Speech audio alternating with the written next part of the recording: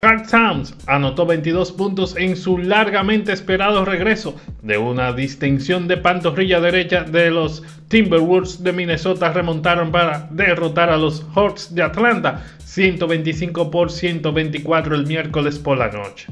El regreso después de perderse 51 partidos por Minnesota, que había perdido 3 de 4 y había caído en la novena posición del oeste y al inicio de esta noche.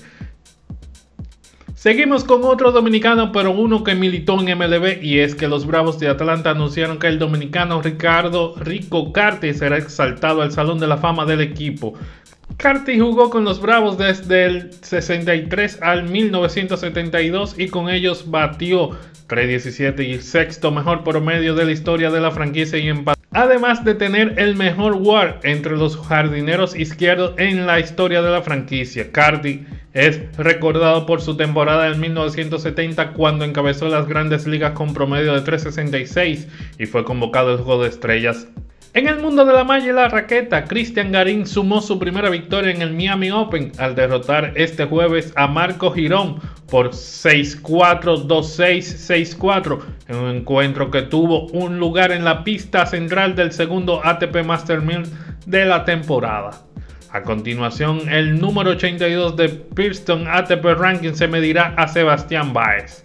El chileno controló el encuentro en el primer parcial, pero tuvo que reaccionar después de que su rival empatase el partido llevándose el segundo. Así Garín apretó los dientes y el tercero se alzó con la victoria tras 2 horas 5 minutos de encuentro.